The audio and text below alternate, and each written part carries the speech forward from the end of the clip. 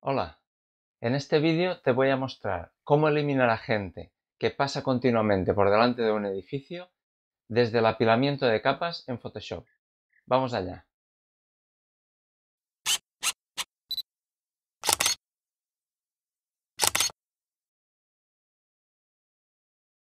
Bien, ahora estamos en Lightroom, con todas las fotografías capturadas. Como ves, tengo 20 fotografías y el espacio que quiero liberar es este. Eh, era un, paisaje urbano donde eh, se ponía en contexto este edificio de aquí de la izquierda, donde tiene las ventanas azules y los balcones azules, que en realidad es un local comercial, es un bar que se accede por debajo. Entonces eh, estaba metiendo en contexto con esta rampa, esta subida, en esta zona.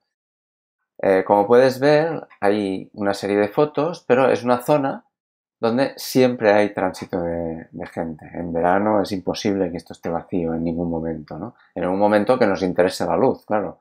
A medianoche o a las 4 de la mañana seguramente está vacío, pero ahí no me, no me interesa. Entonces, como ves, hay más, menos gente. Bueno, en total tengo 20 fotografías. La experiencia me dice que para utilizar este proceso, cuanta más fotografías mejor. Y tenemos que estar pendientes cuando estemos tomando las fotografías de ir viendo que tenemos espacios libres. Por ejemplo, en esta foto tengo toda esta rampa libre, pero aquí hay gente, allí al fondo también y a la derecha también. En la foto anterior, aquí por ejemplo no tengo a nadie y aquí tampoco, pero aquí en el centro hay mucha gente. En esta, toda esta parte de aquí abajo está libre, pero ahí tengo un coche y tengo gente. En esta es, eh, tengo gente aquí, pero aquí no. Entonces, aquí ves, aquí hay mucha gente aquí, pero en esta zona de aquí no. Entonces, hay que ir haciendo, si es una zona como esta que pasa muchísima gente y que además la gente se va alejando o acercando hacia la cámara, que no cruza en, perpendicular al sensor, no va de izquierda a derecha o de derecha a izquierda, entonces, si es así es más fácil, porque la gente permanece menos tiempo tapando un espacio. Aquí mientras se alejan, la gente esté yendo hacia allá y todo este espacio queda tapado todo el rato mientras ellos están yendo o cuando está viniendo alguien, con lo cual es interesante esperar, ir, ir concentrándonos en diferentes zonas y que no haya gente en esas zonas y dándonos igual la gente que haya en otras zonas, para asegurarnos que eh, tenemos todas las zonas de la imagen libres de personas en, alguna o si puede ser en más de una foto. ¿no? Bien, yo estuve ahí un rato, entonces estuve fotografiando, eh, bueno, hice 20 capturas ¿no? en total.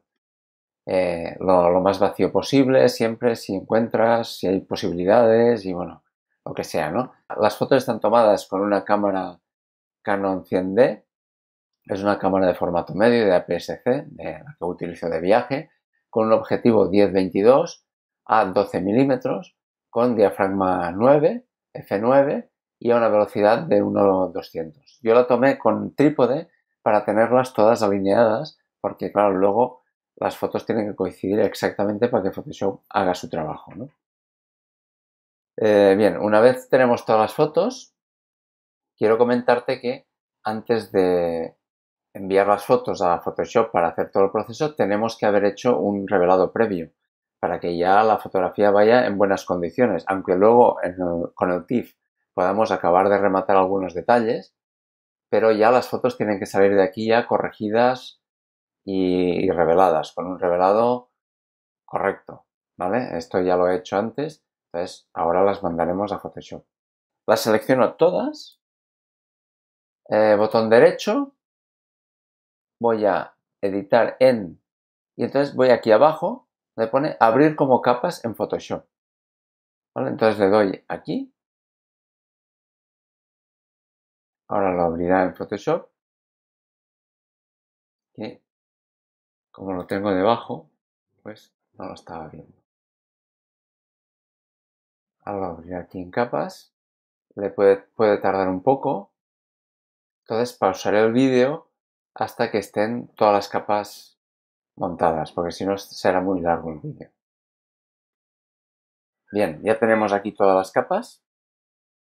¿Ves? Eh, Photoshop abierto eh, todas las fotografías como capas. Entonces tenemos un montón de capas, bueno, 20 concretamente. El proceso este es lento porque está utilizando, si te fijas aquí en, en la parte izquierda de abajo, tengo los tamaños virtuales que está utilizando, entonces el tamaño de este archivo, en realidad que él va a trabajar son 2 GB ahora con las 20 capas. Entonces depende del número de fotos que tú pongas, eh, le tardará más o menos y depende también de la potencia de tu ordenador, de la memoria RAM, etc. Entonces, bueno, voy a seleccionarlas todas. Una vez las tenemos todas aquí, se seleccionan todas, ¿vale? Bueno, seleccionas la de arriba, te pones abajo, tecla mayúsculas y la seleccionas también. Entonces, voy a capa, objetos inteligentes y es convertir en objeto inteligente. Esto también puede tardar un rato, por lo que pausaré un poco el vídeo y seguiré cuando esté. Bien, ya está convertido en objeto inteligente, como ves. Aquí tiene un icono, ¿ves? Que es, no sé qué es exactamente, como unas hojitas, no sé. Esto es, significa que tienes, eh, que esto es un objeto inteligente. Entonces, una vez lo tenemos así, ahora volvemos a capa, objetos inteligentes, y aquí abajo donde pone modo de apilamiento, se, hace este desplegable, entonces vamos a mediana. Clicamos en mediana y esperamos de nuevo a que haga el proceso como son muchas capas, es un objeto pesado, pues tarda un rato.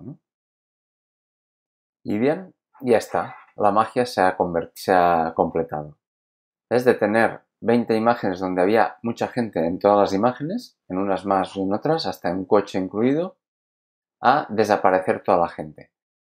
Eh, si te fijas, nos ha quedado aquí como unas, como unas manchitas de color que quedaba como de las como de las camisetas de la gente que estaba pasando por ahí, seguramente, imagino. Si es bastante molesto, si te queda algo así un poco molesto, se puede hacer con una capa donde esa zona la tengas despejada, con la máscara de capa se selecciona y se elimina. Y si no es nada molesto, pues la foto ya, ya te vale. Pero es un proceso bastante automático y bastante fácil. En otro vídeo posterior te explicaré cómo hacer lo mismo, pero eh, con máscaras de capas, seleccionando con diferentes capas. Tampoco es muy difícil, pero allí podrás completar el proceso este por si este proceso no te queda bien. Bueno, aquí tenemos el resultado. Esto es antes. Voy a ir a historia.